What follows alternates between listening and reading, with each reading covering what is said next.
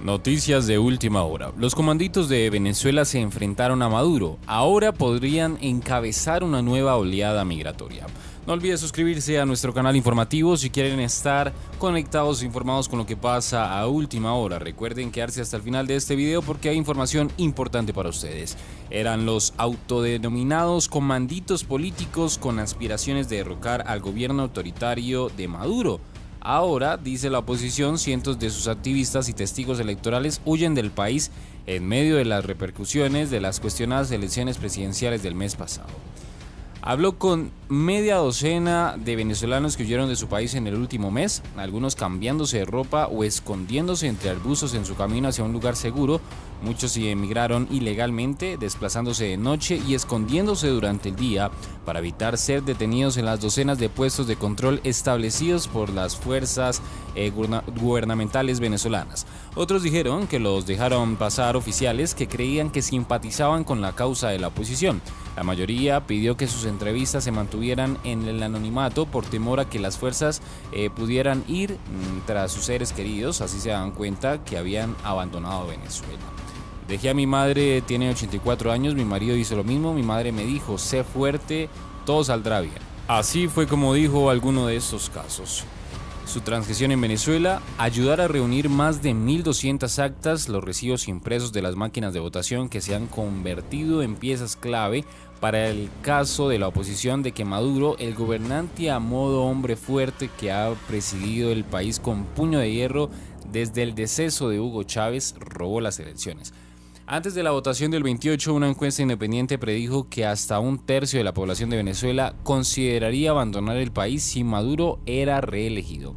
En declaraciones pocas semanas después desde Colombia, Ecuador, Chile y Estados Unidos, estos disidentes políticos pueden representar ahora una nueva oleada migratoria a medida que los venezolanos huyen de la renovada represión en su país. ¿Qué opina usted de esta información? Nuevamente los invitamos a suscribirse. Gracias por estar acá. Noticias al día.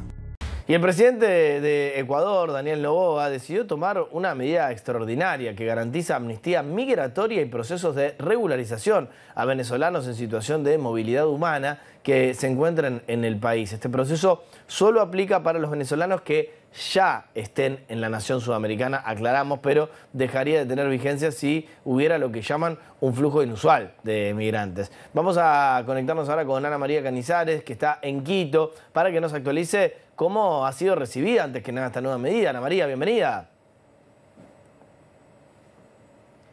Hola, ¿qué tal Nacho? ¿Cómo estás? Un gusto saludarte. Así es, este es un nuevo proceso, una nueva etapa que se abre para que los ciudadanos venezolanos que ya están en el Ecuador puedan regularizar su situación. Primero, a través de la emisión de un certificado de eh, permanencia migratoria en el Ecuador. Esto se abrió desde el año 2022, esta posibilidad, y quienes no lo han hecho a través de esta amnistía migratoria podrán hacerlo ahora mismo. También quienes tengan estos certificados caducados pueden renovarlos o quienes no hayan tramitado una visa de residencia permanente, temporal aquí en el Ecuador o permanente también, Nacho. Así que este proceso se abre nuevamente a través de este decreto ejecutivo. El presidente de la República ha dispuesto que el registro civil, el Ministerio del Interior, eh, la Dirección de Registro de Datos Públicos, etcétera, varias instituciones involucradas establezcan normativas eh, adyacentes a, esta, a este decreto ejecutivo para que se pueda ejecutar esta medida dentro de los próximos ocho meses. Esos ocho meses tendrán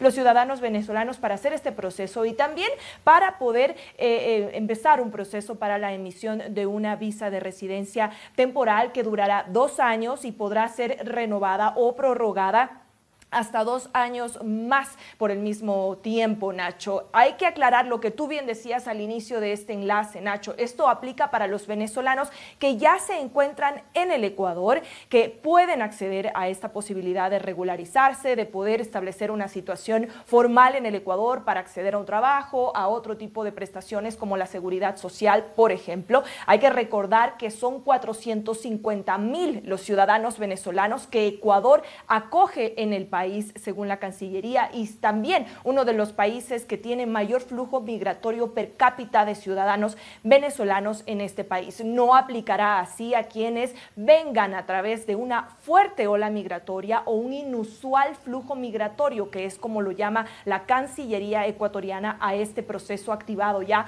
por parte del gobierno a través de este decreto ejecutivo. También, Nacho, es importante que dentro de esta amnistía migratoria se conozca, que los ciudadanos venezolanos conozcan que podrán usar su documento de identidad o pasaporte que tenga hasta cinco años de caducidad o que ya no esté en vigencia, podrá ser usado, servirá para que las instituciones involucradas en este proceso puedan eh, dar paso a la tramitación. La Cancillería será la encargada también de emitir estas visas temporales cuando ya tengan que cumplir con ese proceso, mientras que el Ministerio del Interior ha indicado que se encargará de cruzar información con el Centro de Inteligencia del país y también con la Policía Nacional para ciudadanos que puedan representar, dicen, una amenaza a la seguridad o a la estructura del Estado y que no puedan acogerse a, estos, eh, a este ofrecimiento por parte del gobierno de regularizar la situación. CNN ha hecho una consulta también a la Cancillería ecuatoriana para conocer cuántos de estos 450 mil venezolanos que calcula el Ecuador ha acogido en los últimos años debido al éxodo humanitario desde ese país,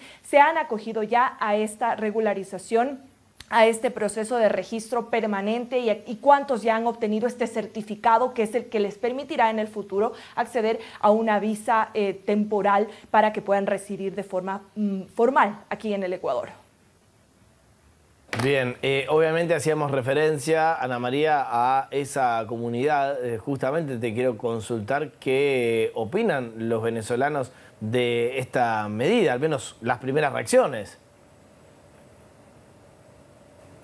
Así es, Nacho, hemos conversado con organizaciones de venezolanos que incluso están preparando foros para los próximos días de capacitación, de información para la comunidad venezolana, de cuáles pueden ser los impactos de acogerse a esta regularización, los pros, los contras que evalúa la comunidad venezolana. Pero nos ha dicho una de estas organizaciones también que algunos ciudadanos venezolanos no han mostrado interés en los últimos años por acogerse al proceso de regularización porque tienen temor de las implicaciones que esto pueda generar de algunas personas que, por ejemplo, llegaron al Ecuador por pasos irregulares en los últimos años y que quizás esto pueda impactar negativamente en ellos. Esto está siendo aclarado también por la autoridad competente. El proceso no busca perseguir a cada uno de los ciudadanos que han llegado a este país, sino generar también una estadística, una regularización, unas personas que puedan acogerse también a las obligaciones y derechos en el Ecuador, pero de una manera más organizada y planificada. Eso es lo que ha dicho el gobierno ecuatoriano y eso es lo que busca también la comunidad venezolana, que varios de sus miembros puedan comprender.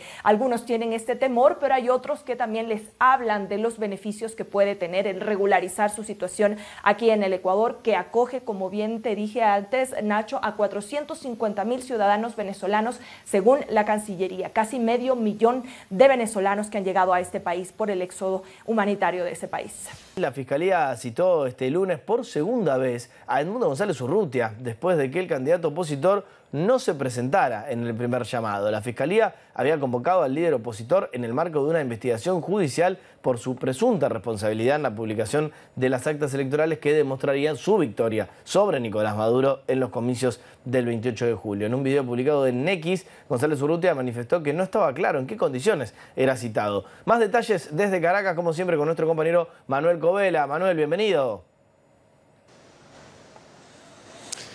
Hola Nacho, buenas tardes. Efectivamente, eh, por segunda vez fue citado Edmundo González, es candidato de la mayoría opositora de Venezuela para comparecer ante el Ministerio Público. Específicamente debe hacerlo, así consta en el llamado, en el piso 15 de este edificio que vemos al fondo. Esta no es la sede principal del Ministerio Público. Este edificio está ubicado a una cuadra eh, aproximadamente de la sede principal del Ministerio Público. En el piso 15 del edificio que están viendo está la oficina de la Fiscalía número 58 a cargo del abogado Luis Ernesto Dueñez Reyes, quien fue el que suscribe la citación segunda que le realizaron a Edmundo González. Hoy Edmundo González no se presentó, tendría que haberlo hecho, de acuerdo a la citación, también a este mismo lugar.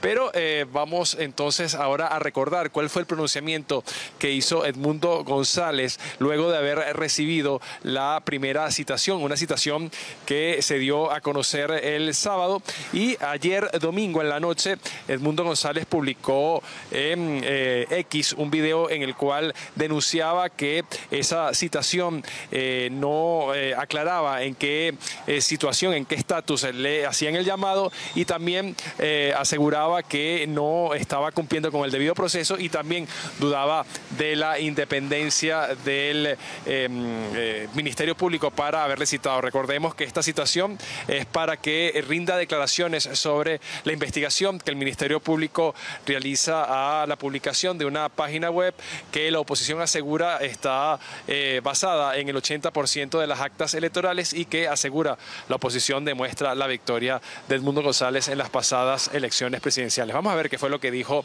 eh, Edmundo González rechazando la primera situación que se le hizo ah, para rendir declaraciones ante la Fiscalía. El Ministerio Público pretende someterme a una entrevista sin que se precise en qué condición se espera que comparezca y precalificando delitos no cometidos. El fiscal general de la República se ha comportado reiteradamente como un acusador político. Condena por anticipado y ahora impulsa una citación sin garantías de independencia y del debido proceso.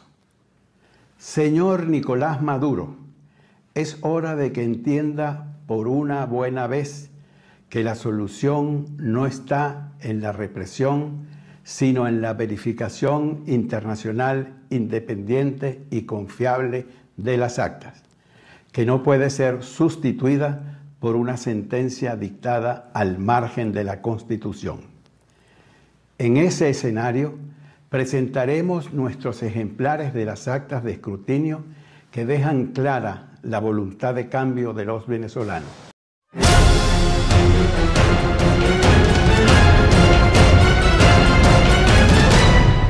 Si no te quieres perder de los últimos acontecimientos que pasan en el mundo, suscríbete y activa la campana. Somos Noticias al Día.